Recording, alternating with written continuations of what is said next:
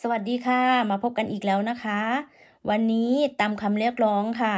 จะมีลายเสื้อสวยๆหวานๆเป็นลายคอตาข่ายคอปีนแบบนี้นะคะ ซึ่งด้านหลังจะเป็นกระดุมติดนะคะ ซึ่งด้านล่างเนี่ยเพื่อนๆอยากได้ลายไหนก็ได้ค่ะ ที่จะเอามาผสมเอา อย่างตัวนี้เป็นลายมะลิซ้อนนะคะ หรือใครจะถักเป็นลายมะลิธรรมดาก็ได้ หรือใครต้องการจะทำเป็นลายหางนกยูงหรือลายสับปะรด หรือลายเกตมัดฉาก็ได้นะคะ ตัวเสื้อตัวนี้เราใช้ไหมเส้น 20 ค่ะ ซึ่งวันนี้เราจะใช้ไหม NR 2เส้น 20 นะคะ สีม่วง เข็ม ก็ตามสไตล์ค่ะ เกี่ยวไม่หลุดเป็นใช้ได้นะคะ เรามาเริ่มทำกันเลยค่ะ เราจะคล้องไหมเป็นวงกลมแบบนี้ โดยเหลือหางไหมไว้เล็กน้อย เราจะขึ้นต้นที่โซ่สาม เอามือจับไว้ ถักไปอีกสี่พันหัวเข็มหนึ่งครั้งหรือ F นะคะ เราจะเรียกว่า F ปักลงไปตรงโซ่ที่สี่ปลดปลดแบบนี้ค่ะ เราจะขั้นด้วยโซ่ห้า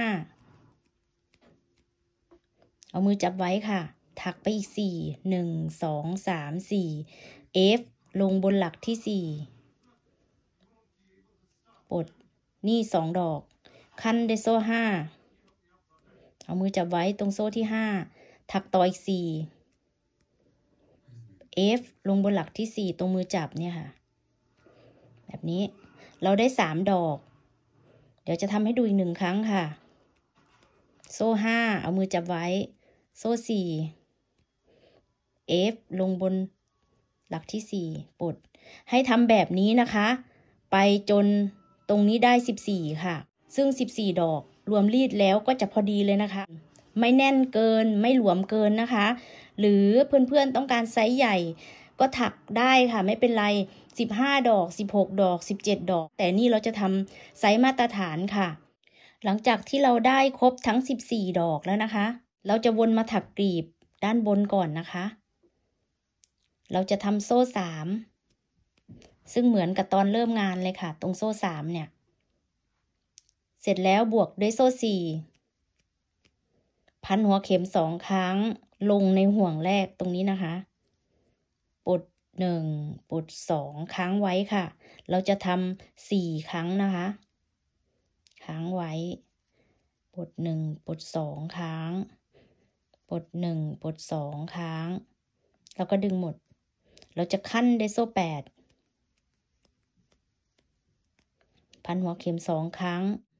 บทหนึ่งบทสองครั้งทำอีกสี่ครั้งนะคะ เราจะเริ่มทำดอกทีละครึ่งดอกนะคะ แล้วค่อยวนไปปิดทุกดอก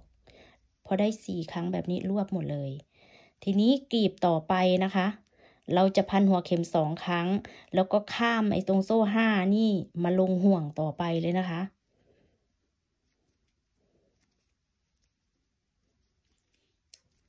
พ อสองคออีกสี่ครั้ง รวบพร้อมกันค่ะ ได้สี่ครั้งแล้วก็รวบ แบบนี้นะคะ ตรงจุดระหว่างดอกมันจะกีบจะชนกันแบบนี้ แล้วก็ขั้นด้วยโซ่แปดแบบนี้ค่ะ แล้วก็พันหัวเข็มสองครั้งสี่รอบลงบนลงในห่วงเดียวกัน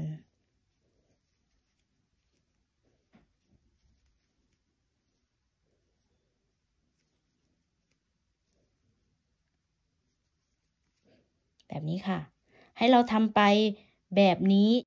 จนมาถึงดอกแรก พอเราทำเสร็จครบทั้ง 14 ดอกแล้วนะ เราจะเวียนมาทำปิดทุกดอกเลยค่ะ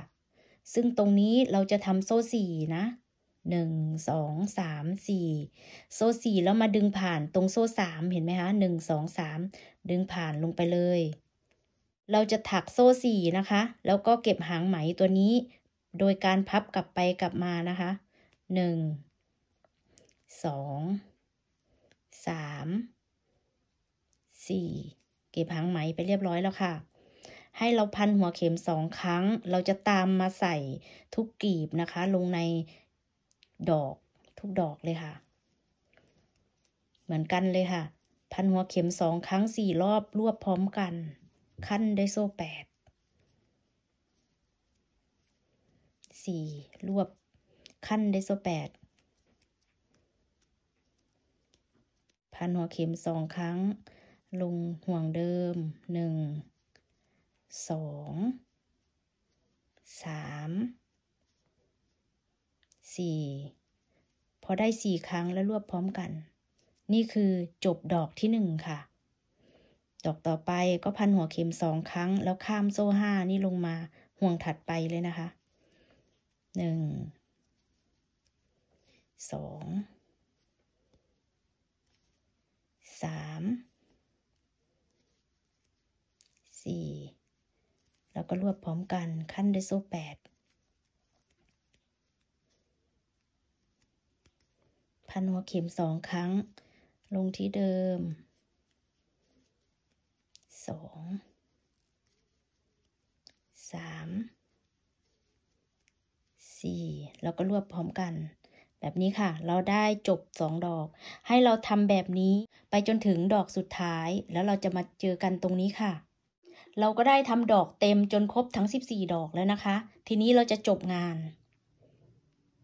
ด้วยโซ่สี่แล้วก็ซีดึงผ่านบนโซ่สามหนึ่งสองสามดึงผ่านไปเลย เราจะแต่งริมคอนะคะ โดย x ลงไปสี่ครั้งลงในโซ่สี่ตรงนี้ x สองสาม สี่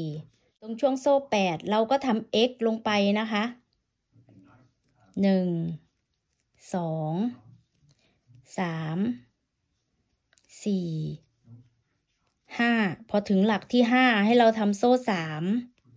แล้วก็แทงเฉียงๆลงตรง x หลักที่ห้าดึงผ่านค่ะ โดยใช้นิ้วโป้งกับนิ้วกลาง ดึงตรงตุ่มตรงนี้ไว้นะคะ จะถักง่าย แล้วก็ถักต่อ x ไปสี่ครั้ง สองสามสี่แบบนี้ค่ะ เราจะได้ฝั่งนี้สี่ฝั่งนี้สี่ตรงกลางตรงทำปุ่มนี้อีกหนึ่งเป็นเก้าหลักนะคะ ตรงกลางนี้เราก็ทำ x ลงไปค่ะหนึ่งครั้ง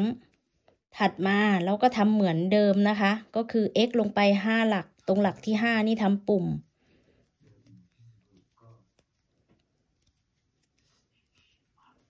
ตรงหลักที่ห้านะคะทำโซ่สาม ทำปุ่มแทงเฉียงเฉียงดึงผ่านค่ะ แล้วก็ต่อ x อีกสี่หลัก ส่วนตรงกึ่งกลางตรงนี้เราก็ถัก x ลงไปหนึ่งตัวค่ะ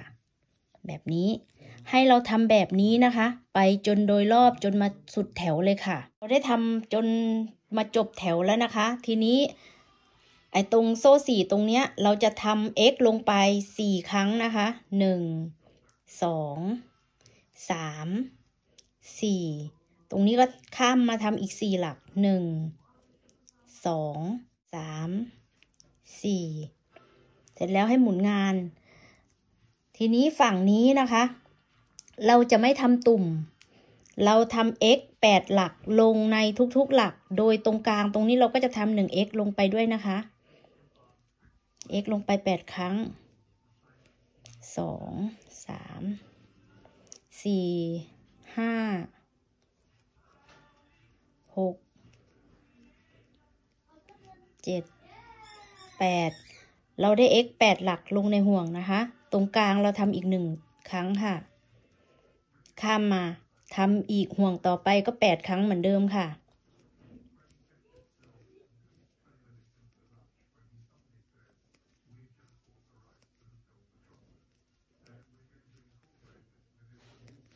ตรงกลางนี้เราก็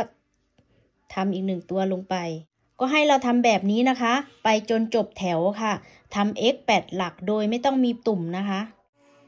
เราก็ได้ทำมาจนจบแถวฝั่งนี้แล้วนะคะ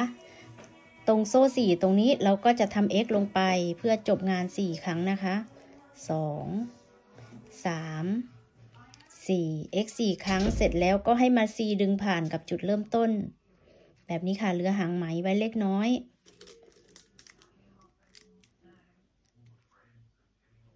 เราก็ตัดไหม เสร็จแล้วก็ดึงไหม แล้วก็เก็บหางไหมไว้ตามซอกโซ่งานแบบนี้ได้เลยนะคะ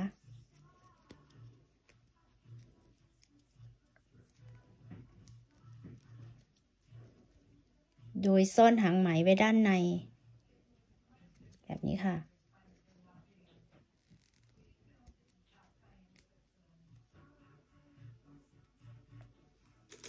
เสร็จเรียบร้อยแล้วนะคะ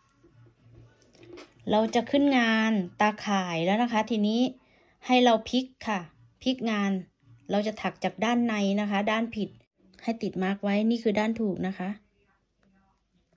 ตรงนี้ เราจะทำการพลิกงานกลับนะคะ เราจะถักตาข่ายทางด้านผิด เราจะเริ่มต่อไหมเข้าไปตรงกีบดอกฝั่งนี้ค่ะ แทงเข็มเข้าไป แล้วก็ดึงไหมขึ้นมาเรือหางไหมไว้เล็กน้อย ประมาณนี้นะ เราจะถักโซ่ห้าโดยการเก็บหางไหมพับกลับไปกลับมานะคะ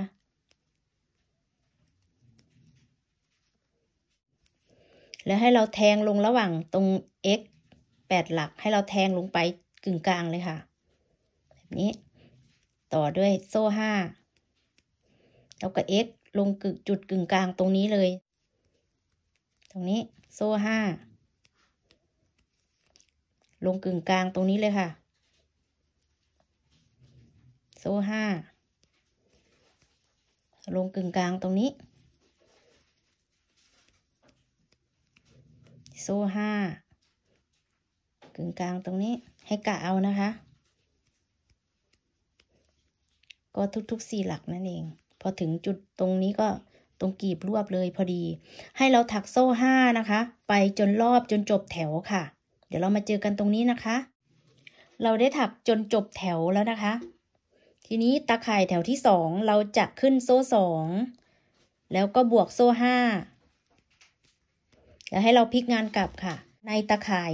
รอบที่สองเนี่ย เราจะทำตุ่มนะคะ จนจบแถวค่ะ ให้เราปักลงไปบนโซ่หลักที่สามของโซ่ห้า แถวที่แล้วนะคะหนึ่งสองสามตรงช่องนี้ปัก x ลงไป เราจะทำตุ่มด้วยโซ่สามแล้วก็ x ลงไปที่เดิม แบบนี้ค่ะ ตามด้วยโซ่ห้า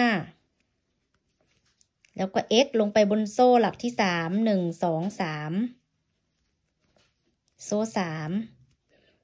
x ลงไปที่เดิม ดึงผ่าน โซ่ห้า แล้วก็ x ลงบนหลักที่สาม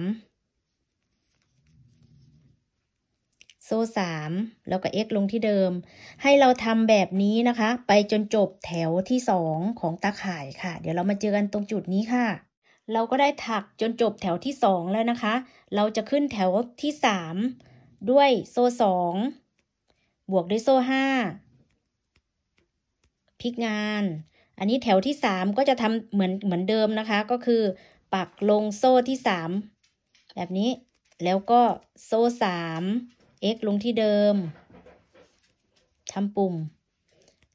โซ่ห้าปักลงบนโซ่ที่สามโซ่สาม x ลงที่เดิม ให้เราทำแบบนี้นะคะ ไปจนจบแถวที่สามค่ะพอถึงตรงริมตรงนี้นะคะ เราก็นับหนึ่งสองสามแล้วก็ปักลงเลย แล้วก็ปกติค่ะ โซ่สาม x ลงไปทำปุ่ม เราทำจบแถวที่สามแล้วนะคะ ต่อไปเราจะขึ้นแถวที่สี่เราก็ถักโซ่สองบวกด้วยโซ่ห้าหนึ่งสองสามสี่ห้าเสร็จแล้วก็พลิกงานฝั่งนี้ อันนี้เราถักด้านถูกแล้วนะ เราก็ F ลงบนหลักที่สามค่ะทำเหมือนเดิมค่ะ แถวนี้แถวที่สี่จะเป็นแถวสุดท้ายของโซ่ห้าแล้วนะคะ ซ่ห้า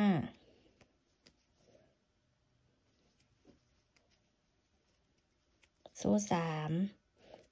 x ทำปุ่ม โซ่ห้า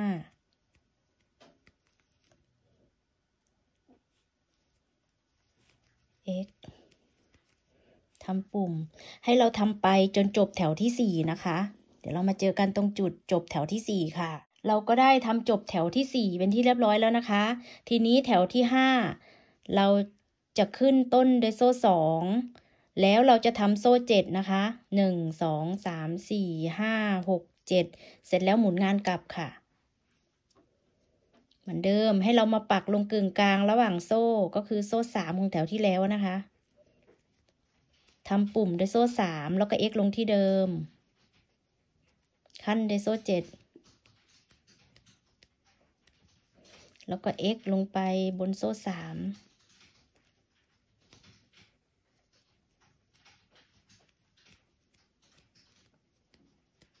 ในแถวที่ห้านี้เราจะทำโซ่เจ็ดนะคะ แล้วก็ทำปุ่มไปจนจบแถวค่ะ เดี๋ยวเรามาเจอกันตรงจุดจบแถวตรงนี้ค่ะ จบแถวที่ห้าเราจะขึ้นแถวที่หกโซ่สองบวกเจ็ดพลิกงานค่ะ เราจะปัก x ลงกึ่งกลางระหว่างโซ่เจ็ดก็คือตรงช่วงโซ่สี่นะคะ x ลงไป โซ่สามทำปุ่มก็คือ x ลงที่เดิมแบบนี้ค่ะ โซ่เจ็ด x ลงบนหลักโซ่สี่โซ่สาม x ลงที่เดิมทำปุ่ม โซ่เจ็ด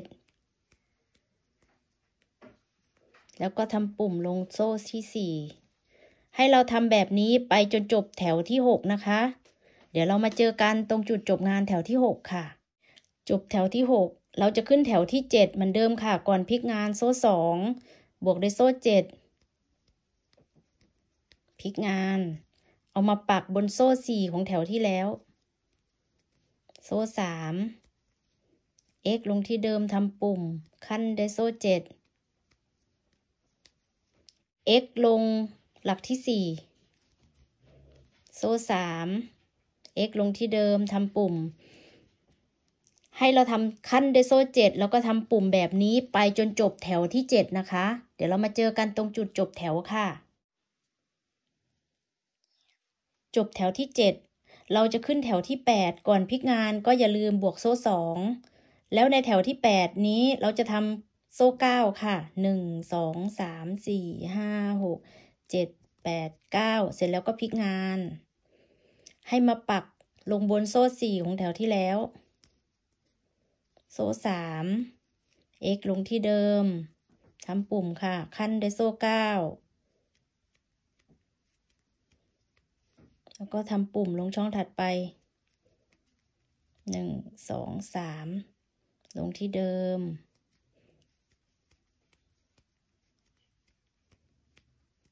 ก็ให้เราทำโซ่เก้าไปจนจบแถว ที่แปดนะคะ เดี๋ยวเรามาเจอกันตอนช่วงจบแถวค่ะ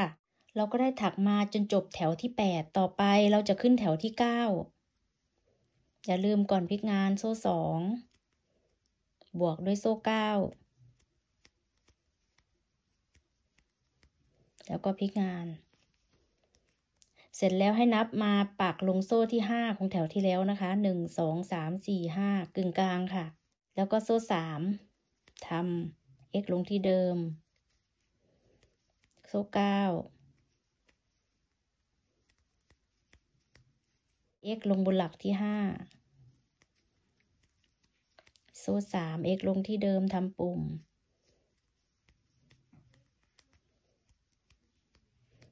แล้วให้เราทำโซ่เก้า x โซ่เก้า x ทำปุ่ม ไปจนจบแถวที่เก้านะคะ เราก็ได้ถักจนจบแถวที่เก้าต่อไปแถวสุดท้ายแถวที่สิบ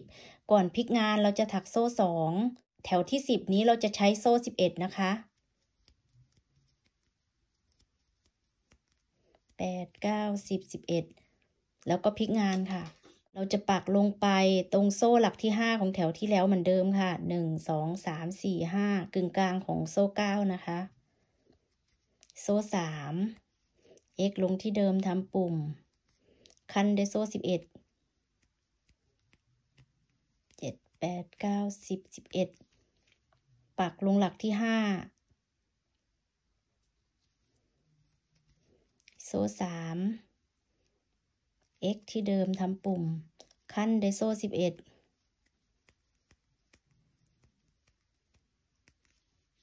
แล้วก็ทำปุ่ม โซ่ห้า ให้เราทำแบบนี้นะคะ ก็คือ นี่ให้เราทำโซ่สิบเอ็ดไปจนจบแถวเลยนะคะ นี่คือแถวสุดท้ายค่ะ เดี๋ยวเรามาเจอตรงนี้ค่ะ เราถักจนจบแถวที่สิบนะคะ ให้เราค้างไว้แบบนี้ก่อน แล้วให้เรานำไปรีดค่ะ รีดด้วยไฟอ่อนๆนะคะ